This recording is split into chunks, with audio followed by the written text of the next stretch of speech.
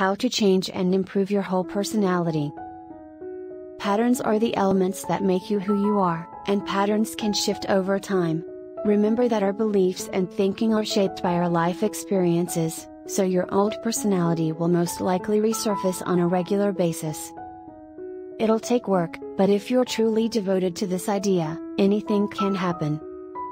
Welcome back to Mind Over Matter. If you are new here, consider subscribing for more content like this. Now let's begin. 1. Write down your plan.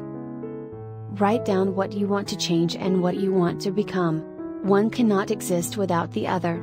This is a massive undertaking, and you'll need to know which battle you'll be fighting before you begin. What role will your envisioned new character play in your personal growth? Many people will come to the conclusion that a personality change is unnecessary at this point. This is a massive undertaking, and you'll need to know which battle you'll be fighting before you begin. 2. Tell someone. The success of Alcoholics Anonymous is said to be due to its members' honesty with one another. External motivation comes from having someone else hold you accountable the extra brain power and a set of eyes that are a little farther away from the painting can assist you in seeing how you should act. 3. Make up a reward system. Make up a reward system. This can be as small as moving marbles from one pocket to the other or as large as a vacation. If you walk up to that beautiful girl or handsome guy and get one word out, fantastic. Have rewards for everything, it's all a challenge. 4. Stop labeling yourself. When you stop thinking of yourself as one way or the other, the world opens up to you. You are constantly morphing. But if you realize that you're always growing and changing, you may open up to opportunities you would otherwise shy away from. 5. Quit thinking in fixed terms. Stop thinking in black and white.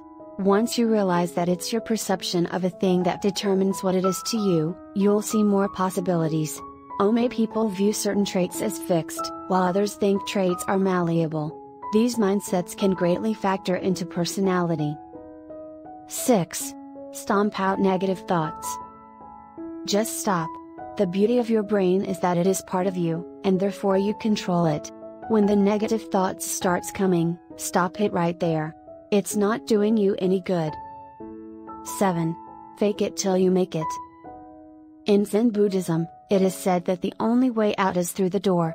Practice approaching random people and conversing with them if you want to become less shy. Start reading if you admire people who read a lot. Simply jump in. The human mind has a remarkable ability to adapt. With enough time, what used to send shivers down your spine will become old hat. 8. Assume another identity. It is this new person you are attempting to be. This should be done at all times. In every situation, you must adopt the habits of this new character. What are their goals and plans for the future? 9. Set aside a specific time to freak out. Alright, so telling you to completely abandon who you are and adopt a new persona by the simple power of thought and habit is ridiculous. There's no way you can keep it up 24 hours a day, 7 days a week. Therefore, give yourself a scheduled time to feel how you want. If you have a party on Friday that you are absolutely dreading, tell yourself, you can take 20 minutes just to freak out completely about it. 20 minutes of absolutely illogical, non productivity. But beyond that, nothing. Stick to it. You know what'll happen? You'll find that you don't need to take the time after all. 10. Throw yourself into new environments. Truly, the only way you'll see change in yourself is if you add something new to your life. If you're afraid of spiders, put yourself in a room with one. Day by day, inch closer to it. Get a job outside your skill set. Start reading up on the subject. Don't hang out with people who do the opposite of whatever it is you're trying to achieve. Start out small. Join a club. What's more, keep yourself out of old environments. You don't want to hang out with people who do the opposite of whatever it is you're trying to achieve. 11. Put on your clothes.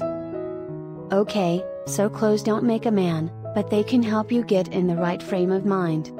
Though this will have no effect on your personality, it may serve as a reminder of the person you are attempting to become. It could be as simple as donning a hat. Keep an eye out for anything that strikes you as being characteristic of this new person.